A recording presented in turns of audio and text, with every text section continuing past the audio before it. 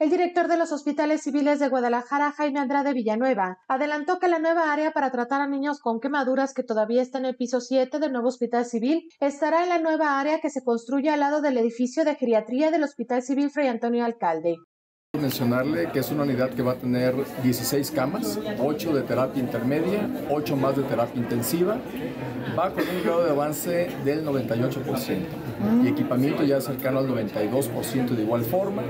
Son prácticamente días o escasas dos semanas como para tener completo eh, ya esta, esta unidad de quemados pediátricos para poderla eh, ya ahora sí que inaugurar y posteriormente utilizar.